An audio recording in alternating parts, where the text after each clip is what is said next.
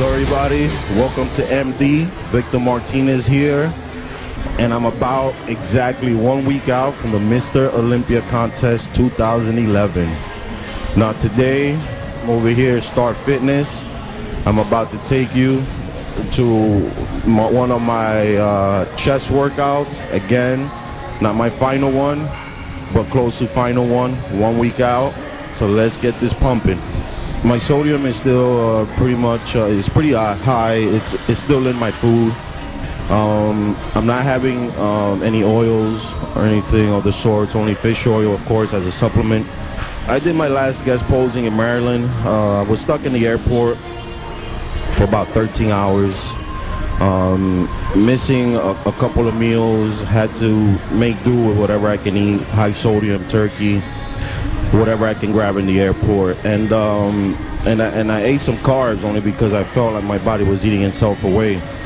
And I, I, learned a lot from that day and over the years from doing the diets. Again, working with Chad, with with, with Chris, with Oscar, and uh, Joe McNeil. I, I realized keeping my body at one single level of either low carb or at a level of zero carbs and only fats. Uh, my, my body didn't respond well.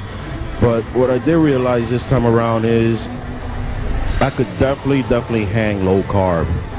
Low carb, very, very little fat, and just giving it on the fourth, fifth day, just giving it that jolt of high carbs. You know, not, not extremely high, a la Dorian Yates, but just high enough where my body is, is carb that it can respond. And and that's what I've been doing ever since. Again, it's uh, keeping it very low carb, then going extremely high, and then using that high to last me the next remainder of the four or five days, and pounding it with the cardio. And my body responded well. Again, you know, I'm still on purpose holding on to the water. I just dropped the salt too soon.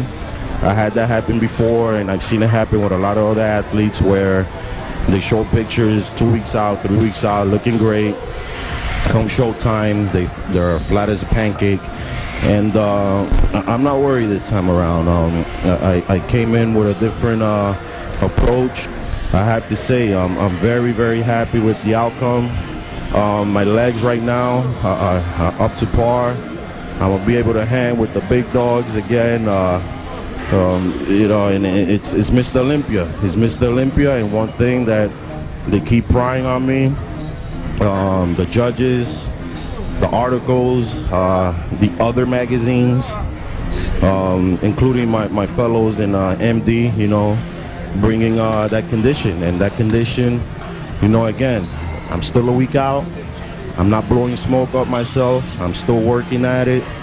I'm still going with the with the very. My confidence has grown based on my visual um, self, looking at my physique. Victor Munoz looking at me, and taking it one day at a time. Uh, but come that Wednesday, when I start to eat, again, I'm gonna have a very very soft approach. I'm very carb sensitive.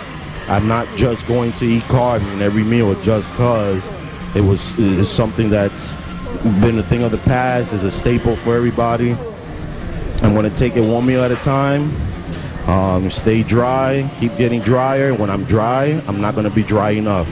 Conditioning is going to be key. Um, and I've heard this many times before. Size has never been an issue. But at the same time, I did not, you know, pull back on not staying big. You know, you still got to be big. This is Mr. Olympia. They don't play. There's been guys winning the Olympia with missing body parts and they've won with, with great condition. So condition is going to be key, and, and I'm very happy with the outcome so far. Again, I keep saying so far because it's a week out, and it don't mean jack shit until that day. In, in my diet, um, I, I definitely like to eat lean. I like eating low fat. I love me some turkey, very low fat turkey. I like turkey breast. It has to be turkey breast, not uh, not ground turkey. It, has got to be turkey breast. Um, I love steak, but unfortunately, having steak all the time does not create a benefit for me. And uh, I have to learn that yes, it does give me the density that my body needs, but one of my key ingredients is fish. I do eat a lot of fish. I probably eat about three, sometimes four meals a day of fish. But again, this is another one that I have to be careful with because fish, after a while, I start noticing having too much fish takes away from my density. So you have to pretty much be very keen on when to eat enough fish and when to add, you know, more solid meats like like uh, turkey and um, steak. Um, so I add steak. I, I, would have to say maybe every fourth or fifth day, and I usually tend to add it during a back workout or a leg workout, one of the higher extreme workouts where I can actually consume most of the fats and, and, and the creatine that the steak pretty much releases into my body. So fish is key to definitely uh, giving me that condition, but too much of it again will give me. It, it feels like the density in my muscles and in my body is not quite there. So I tend to slightly add more red meat. Um, I always keep the turkey in and fish. I don't go any less than two meals, um, and I go as high as probably about four meals per day. Salmon is everybody's favorite, but of course, salmon is you might as well just eat steak if you're gonna eat salmon. Um, and uh, one of my favorite fish I have to say is flounder. The easiest fish to eat is tilapia, but um, again, it has to go with the density of the fish.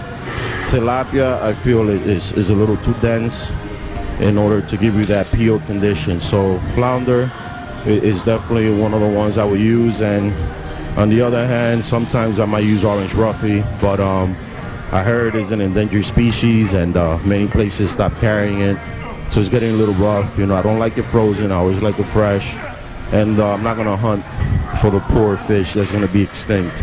So um, I, have been sticking to the flounder. It's a whole lot of them. Um, filet of sole is another good white fish. Um, and also I, have heard with with um, tilapia is also um, high in mercury and it reduces the uh, good cholesterol. So I tend to, you know, spread that fish out a little bit more than I would with the flounder. Um, so very few fish. I mean, I know a lot of people like cod. Is another white fish, but is the other white fish, the one that kind of stinks, is the fishiest fish. Really, really nasty. I don't believe it. You have to suffer that much and eat that real nasty fish. Um, uh, uh the flounder is just as good, just as low in fat, a little tastier. You can actually make it crispy, and it's just easier to eat. You know, as a bodybuilder, eating all those meals per day I mean, you know, suffering does not mean, you know, it has to be that hardcore. You know, you have to be smart about it, know what you're eating, and not suffer. You suffer enough staying low carb, training hard with the very least amount of calories. After the Olympia, as you all might have heard, um, or if not, I will inform you now. This, there will be the Sheru Classic. It will be held in Mumbai, India. Um, most of us in the Olympia are doing it. Some of us might not. But all in all, it's still going to be just as competitive as the Olympia. Um, the, the, tough part is um, I never really travel for many shows. And, and this would be a, a testament to myself as a competitive bodybuilder to travel 15 hours to another show, another time zone. Uh, a couple of times those over. And uh, it, it's going to be tough because you, you, peak for the biggest show in the world. Uh, now you have to hold it for another week. Um, water retentions is, is, is inevitable. It will happen. Now you have to, you know, you all seen uh, many of the guys compete after the Arnold down in uh, uh, land down under Australia, and, and, it's happened. It's happened, and uh, you can't avoid it. You just have to find ways to do it on purpose. You can hold the water, try to drop it, then again, this is a week apart. So it, it, it's going to be tough. I mean, you have to find ways to get around it. You're 15 hours on a plane. It's to happen. It's to happen, and that's one way. That's one thing. A lot of us will, will have to figure out and stay tuned, you know, because when we land and when that show's on stage, you'll see who did it right, who formulated it right, and the calculations were right. And for me, it will be my first, and uh, you'll see. I mean, body uh, tends to hold water. It's kind of hard to release it. But um, it, it's something that I will be definitely calculating from the point that I get off that stage from the Olympia stage. I, I always, always, always want to thank MD. You know, um, love the magazine. Um, I have to say thank you to all the staff in MD. I mean, everybody's great. Uh, Denise, uh, Gail, uh, uh, the man, Steve, Robbie Durand, you know, freaking workhorse. If I don't see this guy enough in this year, man, I mean, I have to say, uh, definitely the staff in MD, uh, MHP, um, Gerard Dente again, and all the staff. I mean, I, I will have to say, I mean, every company has such great staff as, as MD and MHP has, it'll be it'll be great. Everybody be a happy camper at work. Um, and definitely uh, Eva's supplements. Uh, thank you, thank you very much. You guys feed me and take care of me very well. You know, uh, Dimitri, thank you, bro. You know, and Alex, you guys have been the best. You know, going on 12 years, and you still, you know, treat me as if it's the first year, and and it's awesome. And um, Victor Munoz, man, I mean, I'm so happy. Uh, we we back at it, and it never gets old. We still hit that gym like if it was just yesterday.